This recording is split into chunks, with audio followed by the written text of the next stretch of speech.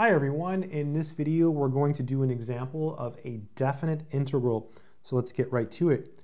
We're going to integrate 2x minus 3 with respect to x from 0 to 2. Okay, so we have to perform the integration here. Let's go ahead and go through it. Solution. So I'll start by writing down the definite integral one more time. So we're going from 0 to 2, and we have 2x minus 3 parentheses dx.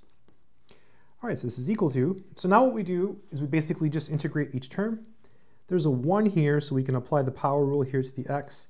So it'll be 2x squared over 2, because you add 1 and divide by the result, minus, and then to integrate 3, you just attach an x to it.